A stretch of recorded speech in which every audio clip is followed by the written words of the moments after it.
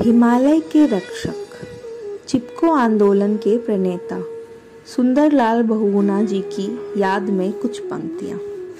किसी व्यक्ति विशेष की मृत्यु कभी पर्यावरण को प्रभावित नहीं करती, पर मैं निसंदेह कह सकती हूँ कि बहुगुणा जी की मृत्यु पर पर्यावरण ने भी शोक जताया होगा। उनके शव को दहन करने को विवश होने पर पेड़ भी अपने अस्तित्व पर झल्लाया होगा। उनकी अस्थियों को खुद में समेटने पर मटका बना मिट्टी का वह अंश खूब पछताया होगा। बहुगुणा जी की मृत्यु पर पर्यावरण ने अवश्य शोक जताया होगा।